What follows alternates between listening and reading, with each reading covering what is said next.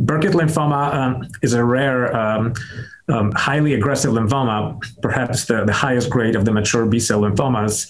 And um, traditionally, uh, it has been studied in smaller studies in, in, phase two trials. There are very few phase three trials specifically uh, focused on Burkitt lymphoma, which makes it difficult to compare the risk across uh, studies. Uh, most patients with Burkitt lymphoma, unlike diffuse large B cell, present with highly advanced disease, stage three or usually four, uh, with invasion of multiple organs, um, very high LDH levels. So the traditional IPI, International Prognostic Index, is not very useful in stratifying patients' prognosis.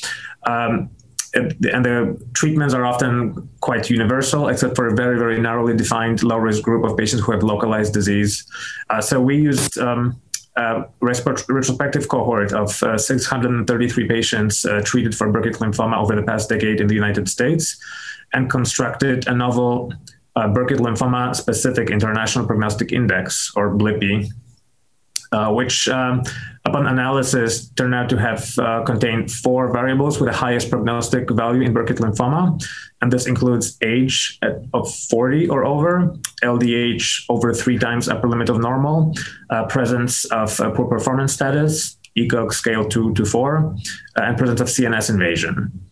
And patients can be grouped into a low risk group with no risk factors and long term progression free survival of over 90%, intermediate uh, risk group with one risk factor and progression free survival of about 72%, and the high risk group, which contains unfortunately half of patients with Burkitt lymphoma with two or more prognostic factors uh, who have only 55 to 63% um, uh, progression free survival at three years. And I'm giving a range here because um, we use this index to validate it externally in a second cohort of patients who are treated in other countries in Australia, Canada, uh, UK, and Scandinavia. This was about uh, 457 patients.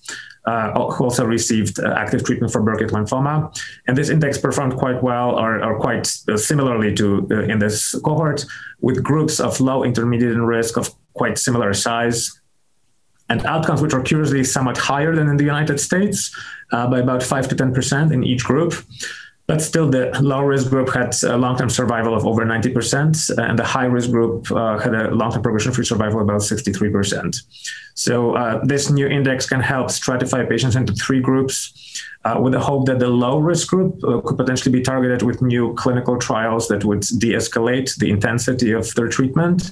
Uh, while on the other hand, the high risk group, the truly high risk group with um, long term survival of barely 50, 60%, is uh, probably in need of novel treatment approaches.